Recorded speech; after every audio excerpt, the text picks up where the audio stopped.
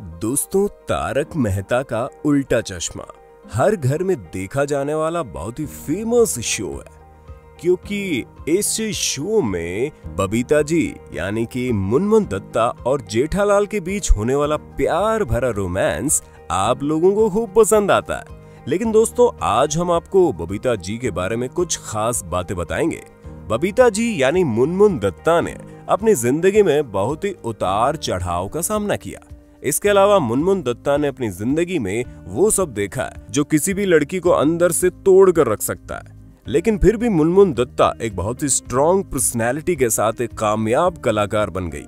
मुनमुन दत्ता ने हैशटैग नीटो कंपेन के टाइम पर अपने आप बीती शेयर करते हुए बताया था कि उन्हें बचपन से ही सेक्सुअल हेरेसमेंट का सामना करना पड़ गया।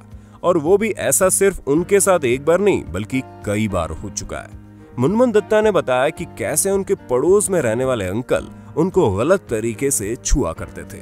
और इससे भी ज़्यादा हैरान करने वाली बात उन्होंने ये बताई कि उनका बड़ा भाई, जिसकी अपनी बेटियाँ उनकी उम्र की थी, वो उनको तो छिपाकर रखता था, लेकिन मुनमुन दत्ता को गंदी नज़रों से देखा करता था। इसके अलावा मुनमुन दत्ता ने ट्यूशन टीचर से लेकर घर के रिश्तेदारों के बारे में खुलकर सबको बताया, कैसे वो उन्हें गंदा काम करने के लिए हरेसमेंट करते थे।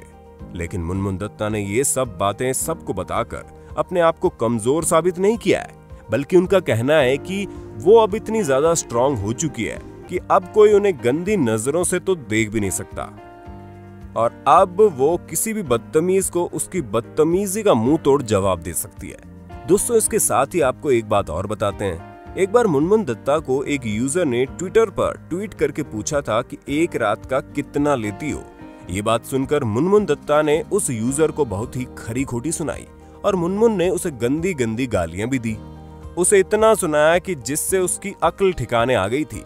मुनमुन का कहना था कि अब वो इतनी स्ट्रांग हो चुकी है कि ऐसे मंचलों का मुँह तोड़ जवाब देने में जरा भी पीछे नहीं हटती। मुनमुन ने कहा कि उन्होंने जो बचपन में सेक्सुअल हरेसमेंट को झेला है, उसके कारण ये बहुत स्ट्रांग हो चुकी है। आज वो किसी की भी बदतमीजी को सहन नहीं करेगी।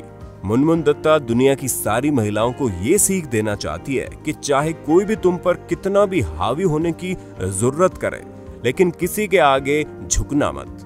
तो दोस्तों, आपको ये बातें कैसी लगी हमें कमेंट करके ज़रूर बताना। और साथ ही दोस्तों, हमारे वीडियो को एक लाइक ज़रूर कर देना। साथ ही दोस्तों, इसे नीचे दिए गए रेड कलर के बटन को दबाकर हमारे चैनल को सब्सक्राइब ज़रूर कर लेना। साथ ही लगे बेल के बटन को दबाकर ऑल के ऑप्शन को ज़रूर सेलेक्ट भी कर देना।